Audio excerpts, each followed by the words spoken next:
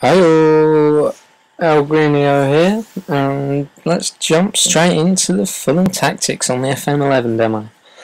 Um, straight away, you're probably going to want to have your backups as uh, well. 4-4-2 is the pretty much the guaranteed bog standard formation you're going to want to use, and you're never going to want to stray too much from that, especially at home. Uh, away from home, you're likely if you're not sticking to 4-4-2, you're going to go with 4-4-1-1 or 4-5-1. And special focus areas, if you're Roy Hodgson, it's usually a defensive positioning. Um, that was generally our way of, well, breaking up teams' play, just getting those banks of four in. Um, learn everybody should know exactly where they've got to be at any given point in time.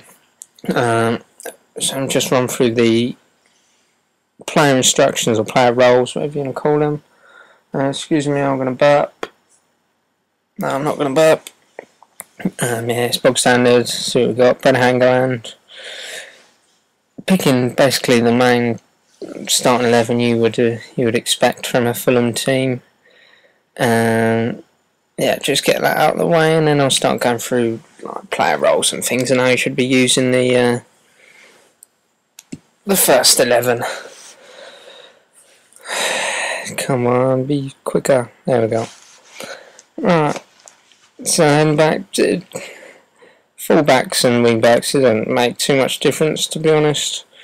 Um, depending, change that depending on your, if you're at home, obviously you want them bombing forward, but you can always just do that in the, uh, in the game with looking for overlaps and things.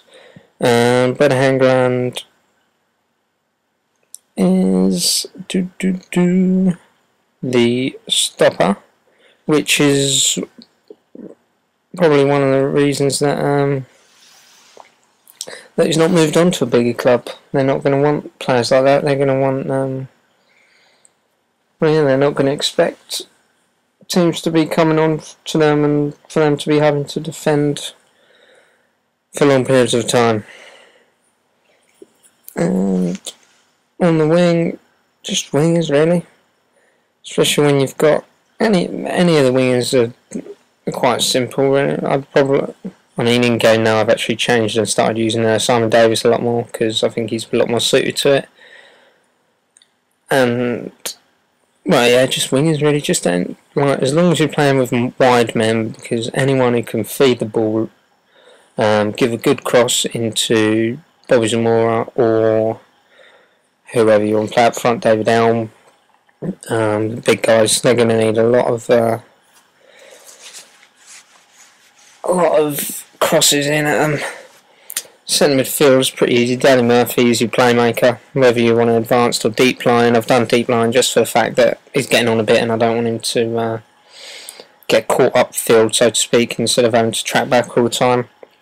Uh, Dickson Etuhu, he's probably more suited to the um, the ball winning midfielder type player, but especially if you if you're looking at real life, especially this season, he's been looking to uh, he's been told to bomb on a lot more. So you're going to want to stick him probably box to box in this game. I mean, obviously, use your noggin if you're playing like Arsenal, Man U, where you probably just want him as a ball winning midfielder just to break up the play and simply let the others uh, do the do their thing up top. And up top, Rob is more as well, it's it's minimal the difference to be honest. You can stick him as whatever you want. So if he's if he's in a pair, you can stick in defensive forward. You can stick in deep line. He can easily do that job.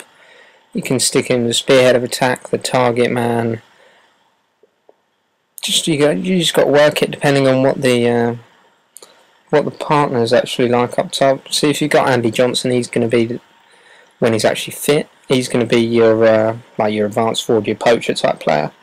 Um, maybe whereas with Dembele, he's a bit more kind of drop deep, get the ball, turn and, and run at the defence is a bit more tricky if you're not playing him on the wing. Um, so he's going to be one to come a bit deeper. Um, so if you're doing that, obviously stick Bobby Z as say an advanced or a target man or whatever you see as fit. Um, few more things. Um, just got, pop into the team instructions in a second. I would hope. And yes, I do.